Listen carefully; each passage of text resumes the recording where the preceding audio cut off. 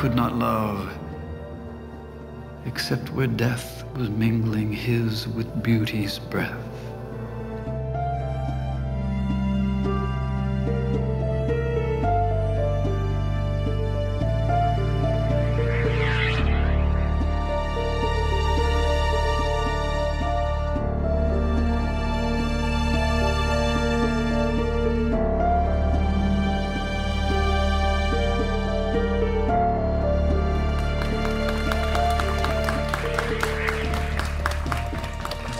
Once, upon a midnight dreary,